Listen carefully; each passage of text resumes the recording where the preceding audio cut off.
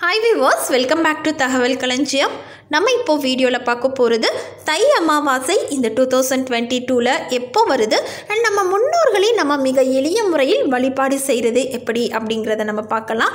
அதுக்கு முன்னாடி நீங்கள் இன்னும் தகவல் களஞ்சியம் சேனலை சப்ஸ்கிரைப் பண்ணலைன்னா பண்ணிடுங்க மறக்காமல் பக்கத்தில் இருக்கிற பெல் ஐக்கானையும் சேர்த்து கிளிக் பண்ணுங்கள் வாங்க வீடியோக்குள்ளே போகலாம்.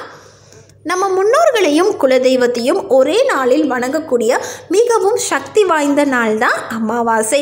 மாத மாதம் வரக்கூடிய அமாவாசை. அன்னைக்கு நம்ம விரதம் இருந்து நம்ம முன்னோர்களை வழிபாடு செய்ய முடியாட்டியும் பெரிய அமாவாசையான ஆடி அமாவாசை புரட்டாசி அமாவாசை தை அமாவாசை இந்த மூணு அமாவாசையும் மிஸ் பண்ணாமல் முன்னோர்களை நினைத்து நம்ம விரதம் இருந்து தர்ப்பணம் கொடுக்கும்போது கண்டிப்பாக இது வரைக்கும் வீட்டில் தடைப்பட்டு வந்த சுப காரியங்கள் அனைத்துமே வந்து கைகூடும். திருமண தடை அகலம்? குழந்தை பாக்கியத்தில் தடை இருந்தது அப்படின்னா அது சீக்கிரமே வந்து அதுவும் வந்து சரியாயிரும். நமக்கு தேவையில்லாத மனக்குழப்பங்கள் மன பயங்கள் எதுவாக இருந்தாலும் அனைத்துமே வந்து சரியாயிருங்க. ஸோ இந்த டைம் பார்த்தீங்கன்னா தை அமாவாசை வரக்கூடிய ஜான்வரி தேர்ட்டி ஒன் திங்கக்கிழமை அன்னைக்கு வருது. திங்கக்கிழமை தை அமாவாசை வர்றதால இதை சோமவாதி அமாவாசை அப்படின்னு சொல்லுவாங்க.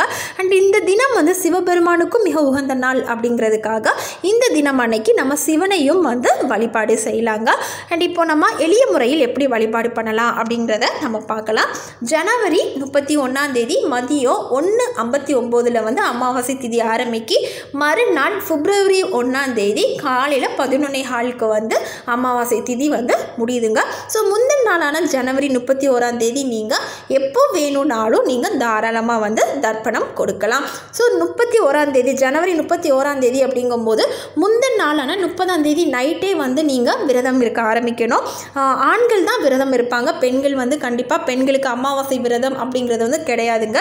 ஸோ ஆண்கள் வந்து முந்தின நாள் நைட்டே விரதம் இருந்து முப்பத்தி ஓராம் தேதி அன்னைக்கு வந்து நீங்கள் பண்ணக்கூடிய முதல் வேலை என்னென்னா நல்லா குளித்து நீங்கள் நல்லா சுத்தமாயிட்டு நீங்கள் வீட்டிலையே வந்து எள்ளும் தண்ணீரும் இறைத்து தர்ப்பணம் கொடுக்கணும். ஸோ மூணு டைம் வந்து அந்த எள்ளும் தண்ணீரும் வந்து நீங்கள் இறைக்கணும். கால் படாத இடத்துல ஏதாவது ஒரு மரக்கிட்ட மரத்துக்கிட்டேயோ இல்லைனா ஏதாவது பூந்தொட்டி உங்கள் வீட்டில் இருந்ததுன்னா அதுலேயோ வந்து நீங்கள் எள்ளும் தண்ணீரும் தாராளமாக இறைக்கலாம்.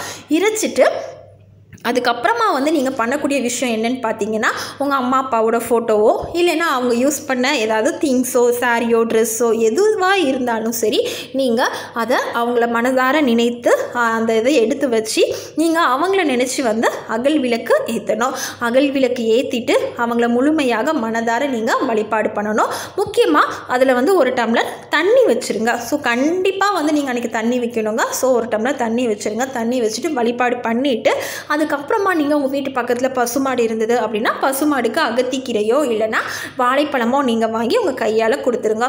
கொடுத்துட்டு உங்கள் ஒய்ஃப் வந்து உங்களுக்கு விரத சாப்பாடு பண்ணும்போது கண்டிப்பாக அந்த பெண் வந்து கண்டிப்பாக விரதம் இருக்கக்கூடாது.